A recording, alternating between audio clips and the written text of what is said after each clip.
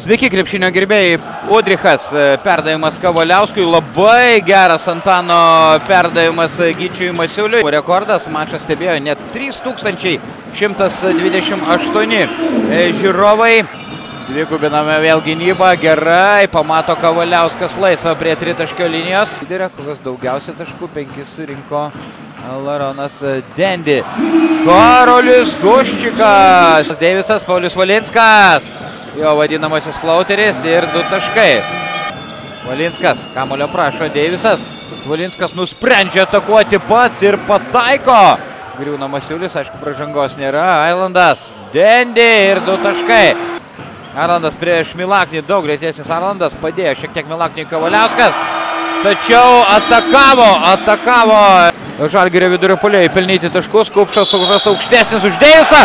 Du taškai su pražanga.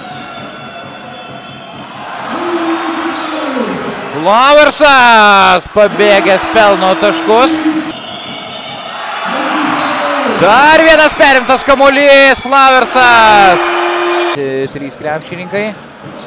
Guščikas, Karolis Guščikas išveda į priekį. Udrichas Kavaliauskui, čia kaip iš natų sužaidžia kauniečiai. Oi, bereikalo bandėlisti į tarpą, prarado kamolį ir čia Akselis Tupanas. Šarūnas Jasikevičius vis suranda turbūt naujų žodžių, kai įkvėpti savo žaidėjus kovai. Ulanovas įsibėgėja, Guščikas griūna. Magoskas prasiveržia Flauersą, pelno du taškus su pražanga. Dendi. Jis bando laimę ir pataiko. Laronas Dendi. Dendi dar kartą iš toli ir dar kartą taikliai. Reikalai jam klostėsi visai neblogai. Dar kartą Laronas Dendi.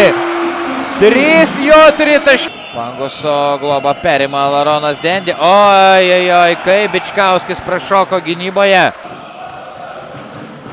Dabar jau Žalgiris arčiau pergalės, tačiau Laronas Dendi. Ailandas prie jo lieka Vaitas. Ailandas prasiveržė pro Vaitą.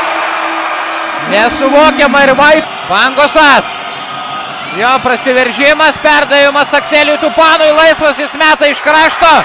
Ir pataiko prancūzas paskutinę. Atsisveikinu su jumis viso geriausio. Iki. Sil karaliaus Mindaugo taurė. Vasario 17-18. Klaipėdoje. Bilietus platina Bilietai LT.